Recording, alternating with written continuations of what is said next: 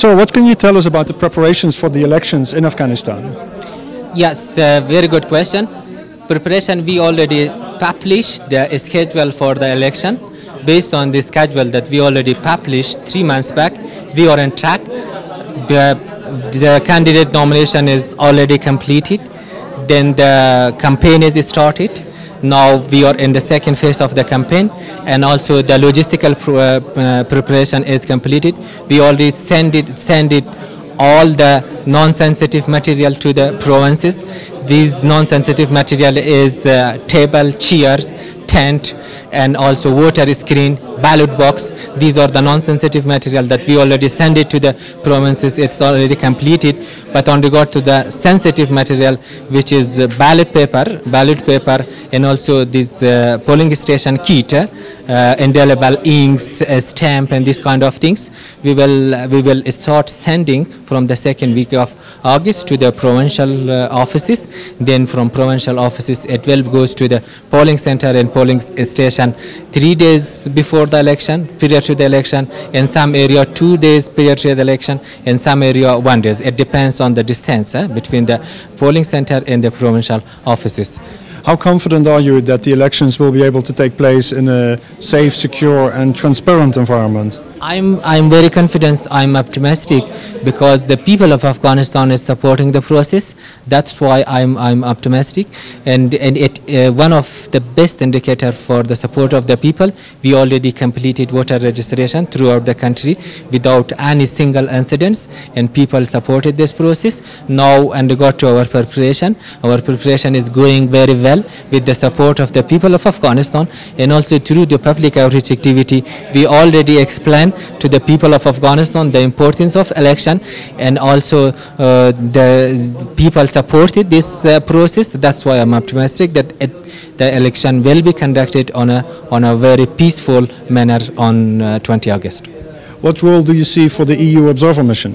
It's very important. I think uh, observation of the election is really support the transparency of the election.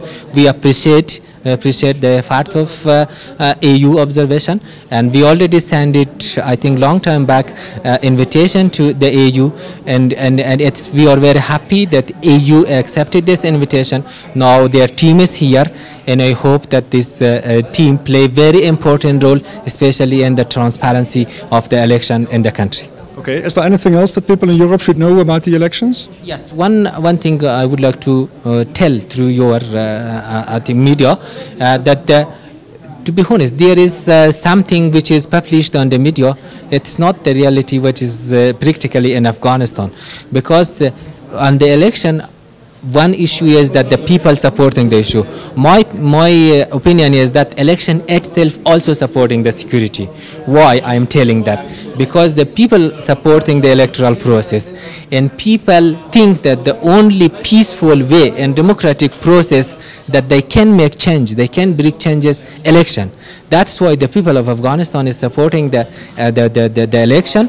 And I, I want to reassure to the international community, to the EU, to everyone that the, uh, the election will be, uh, will be held on a peaceful manner and the people of Afghanistan supporting the process and people of Afghanistan supporting every democratic process. One of the democratic processes election a strange question maybe uh, uh, for an outsider, but uh, some people are saying, well, we don't expect Taliban attacks on polling stations. We, we, don't expect attacks on polling stations because there was so much support for this electoral process. Why, why the Taliban don't support, attack on the polling station? Because one, one issue is very clear. If the Taliban not have uh, supporter among the people, they could not do anything, any activity. During the voter registration, it appears the Taliban wanted to disrupt the process, but the people of Afghanistan is proven that uh, did not allow the Taliban to disturb the process. That's why if the Taliban don't support the election, it's meaning that the people is not allowing, did not allowing Taliban to support the process, to, to disturb the process. People is supporting the process.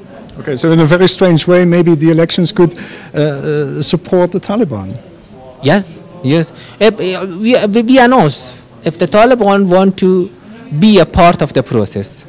We are ready. We are ready to distribute voter registration code and the Taliban should come and, and participate on this democratic electoral process if they want to have uh, follower amongst the people of Afghanistan. The only thing is that, that they should accept the constitution of Afghanistan. They should accept the constitution process, the, the, the democratic process. And, and election is one of the democratic process. They should come and participate if they have the support of the, uh, of the people of Afghanistan. But uh, with attacking on the polling station, they could not do anything. They only disturb the process. They are, if they are support have the uh, um, support amongst the people of Afghanistan, they should come and take part. Have you had a formal reaction, a formal response from the Taliban to, you, to your invitation? No, no, no, no, no. There, there, there is no formal reaction, and also not negative, not positive. Taliban is quiet. I don't know. okay, thank you very much, and good luck. Yeah.